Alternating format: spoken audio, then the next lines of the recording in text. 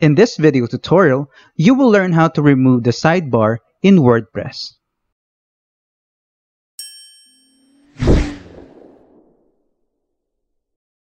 The sidebar appears differently when a user is viewing your site from a mobile device.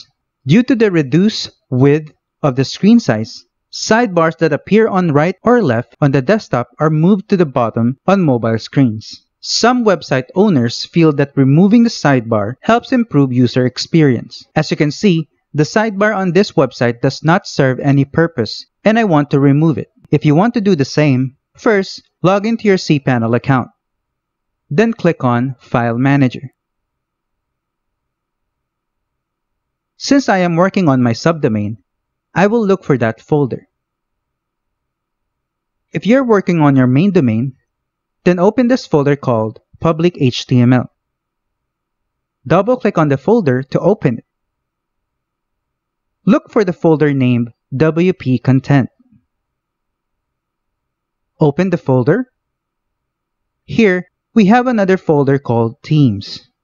Open this folder as well. This folder contains all the installed themes on your website. Now, open the folder with your currently active theme's name. So, my currently active theme is 2016. So I will open that folder. WordPress themes are made up of different templates. So you will need to edit all the templates where a sidebar is displayed. Look for the file named index.php. Right-click on the file. You can download the file as a backup here.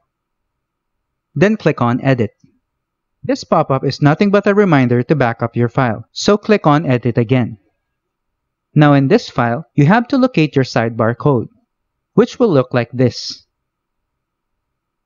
If your theme comes with multiple sidebars, you will see different instances of this code with a sidebar name inside the function.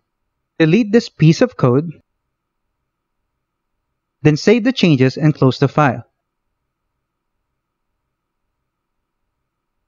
Let's head back to the website to see if it worked. I will just reload the page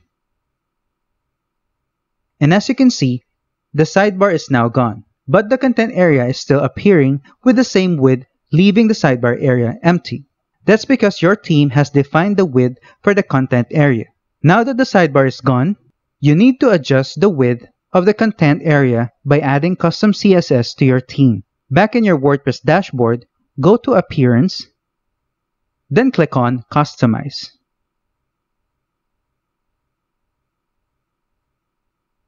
Now, click on Additional CSS.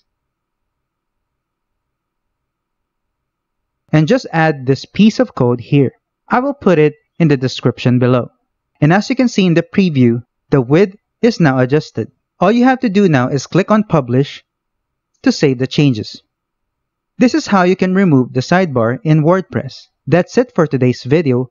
If you have any questions or comments, please leave them in the comments section below. And if you like this video, please click on the like button. If you're new to our channel, hit the subscribe button and the bell icon so you don't miss any of our future videos. Thank you for watching and see you on the next one.